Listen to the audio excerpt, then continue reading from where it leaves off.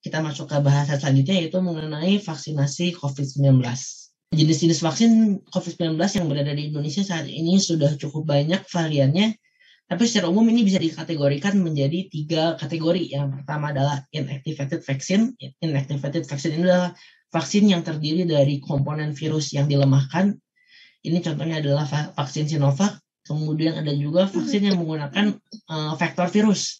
Ini adalah contohnya adalah AstraZeneca. Jadi dia menggunakan virus lain untuk memasukkan materi genetik virus ke dalam sel kita. Dan yang paling canggih ini adalah vaksin asam nukleat.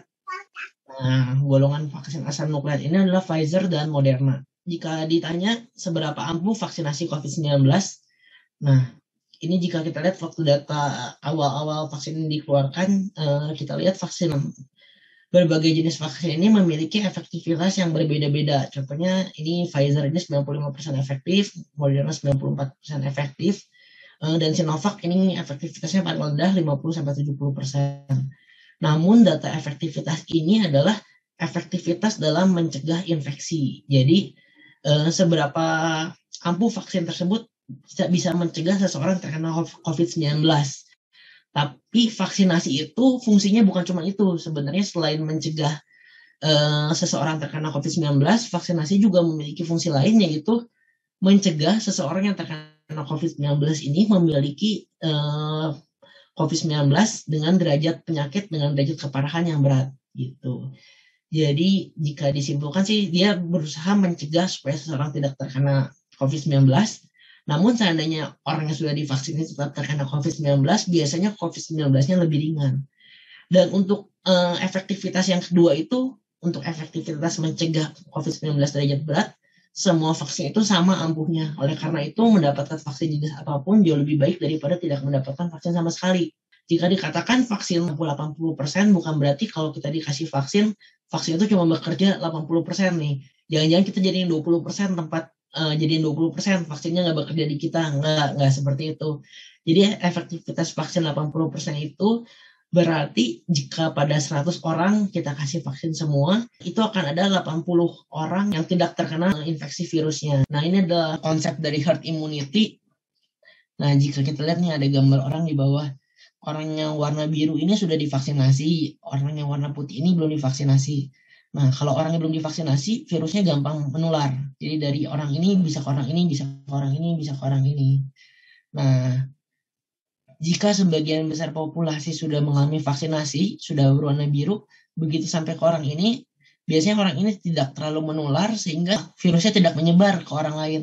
Akibatnya adalah kalau sebagian besar populasi sudah divaksin, orang yang sudah divaksin ini akan melindungi segelintir orang, sebagian kecil orang yang tidak bisa divaksin karena alasan tertentu, misalnya alasan medis atau tidak memiliki akses kepada vaksin atau yang lainnya. Oleh karena itu, sangat penting untuk meningkatkan cakupan vaksinasi. Seorang yang belum divaksin memiliki resiko kematian karena COVID-19 11 kali lipat lebih tinggi dibandingkan dengan orang yang sudah divaksinasi lengkap.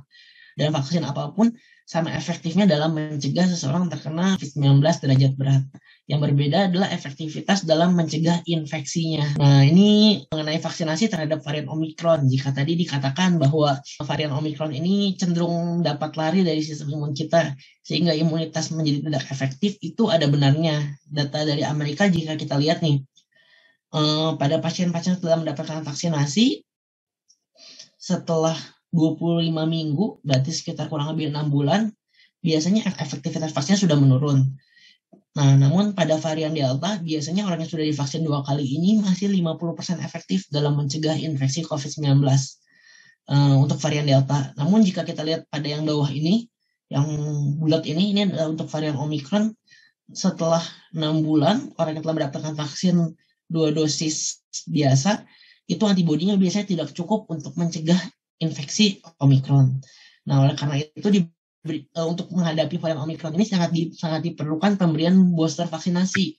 Jadi pemberian uh, dosis ketiga ini pada orang yang telah mendapatkan dua dosis lengkap akan meningkatkan antibodi secara cepat. Oleh karena itu biasanya orang yang telah di, mendapatkan booster ini mendapatkan proteksi terhadap varian Omikron sebesar 25 kali lebih besar dibandingkan orang yang belum Eh, mendapatkan booster. Oleh karena itu untuk menghadapi varian Omicron ini kita sangat penting untuk mendapatkan booster vaksinasi.